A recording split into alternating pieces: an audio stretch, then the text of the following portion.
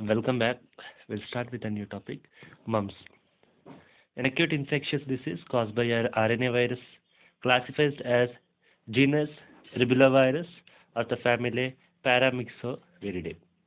So, the mumps is a viral disease which caused by RNA virus uh, which is belonging to the genus Rubulavirus of the family Paramyxoviridae. This organism has a predilection for glandular and nervous tissue. Okay? This is mostly affecting to the glandular and the nervous tissue. Clinically, the disease is recognized by non-suppurative enlargement and tenderness of one or both the parotid gland. Here, enlargement and the tenderness of the parotid gland occurs near the neck. It is non-suppurative. There will be no any pus formation. Other organs may also be involved. So this is what it looks like. Constitutional symptoms vary or may be inapparent. The disease occurs throughout the world. Okay. So sometimes symptoms may vary, but it is present, prevalent in the world. The disease burden. In most of the world, the annual incidence of mumps in the absence of immunization is in the range of 100 to 1000 cases per uh, 10,000 populations with epidemic peak every 2 to 5 years. Okay. So there will be affecting, uh, it will be affecting the people from the range of 100 to 1000 cases per uh, 10,000 population with epidemic peak every 2 to 5 years. There will be outbreak of the disease in 2 to 5 years.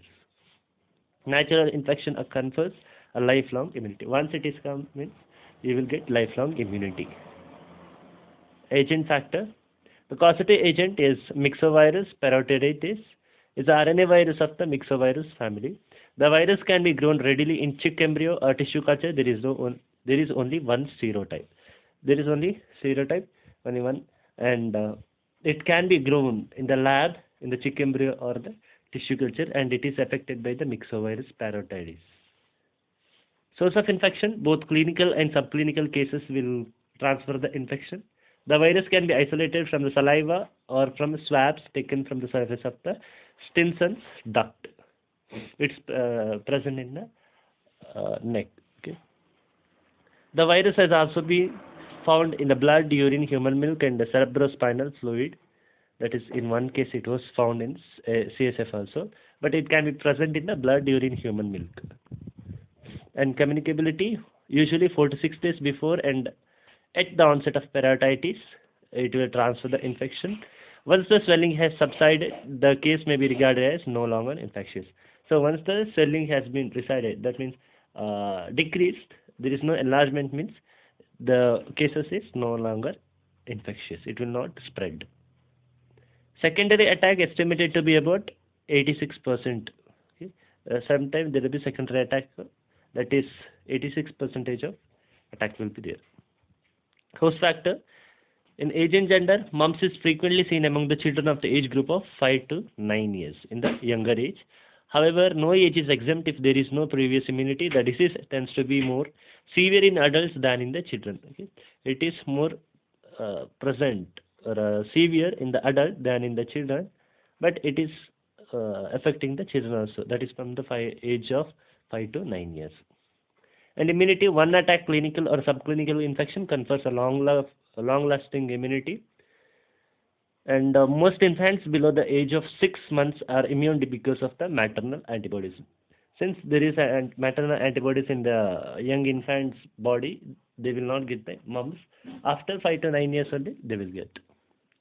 An environmental factor, mumps is largely an endemic disease. Cases are reported throughout the year. The peak incidence is in the winter or the spring epidemics are associated with the overcrowding. Okay, uh, due to overcrowding, there will be outbreak of the disease. How the uh, infection is transmitted? It is by droplet infection and or after direct contact with the infected person.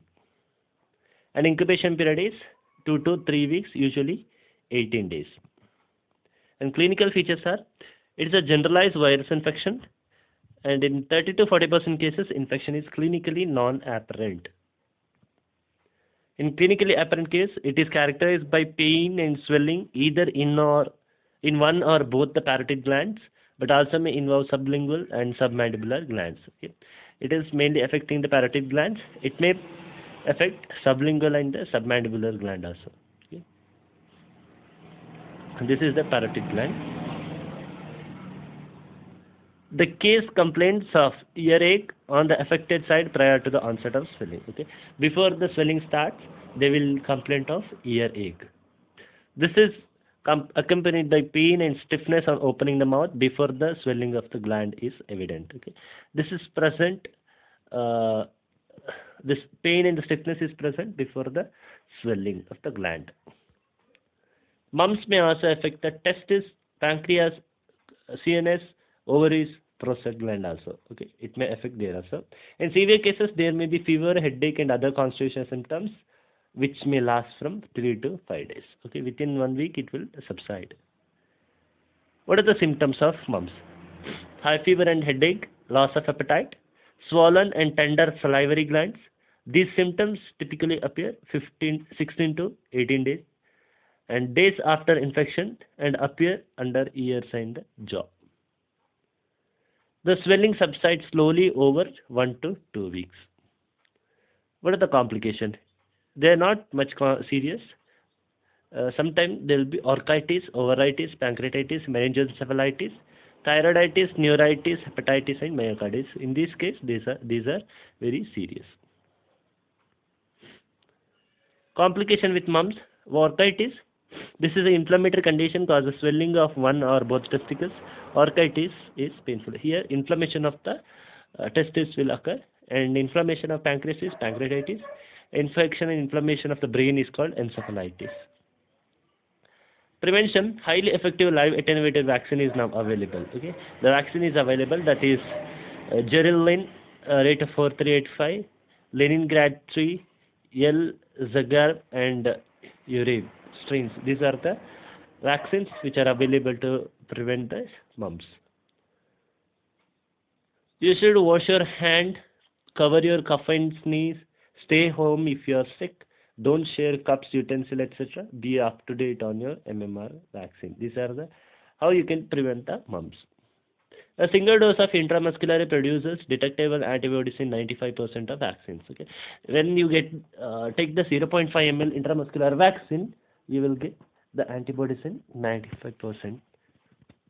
MMR vaccine is administered as a trivalent vaccine for children on completing the nine month. Okay, uh, in the nine month you will get the MMR vaccine.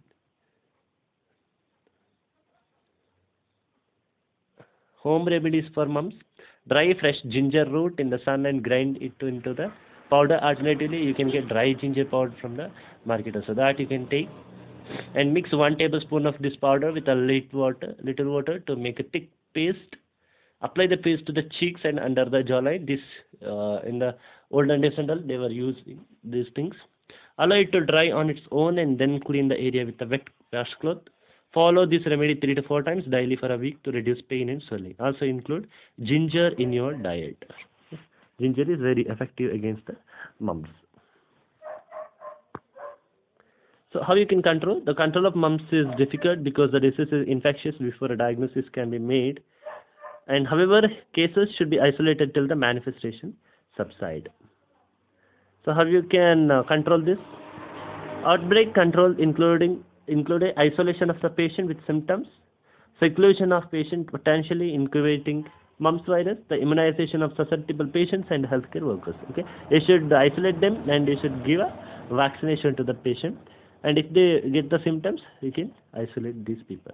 Symptoms may be relieved by the application of intermittent ice or heat to the affected neck or testicular area and by acetaminophen or paracetamol for pain relief.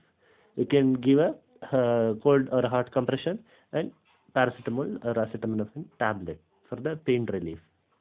Measures should be taken to disinfect the articles used by the patient. Contact should be kept under the surveillance whoever come in contact they should become under the surveillance. We should uh, check them every day. So that's what about the mumps we'll see in the next chapter. Thank you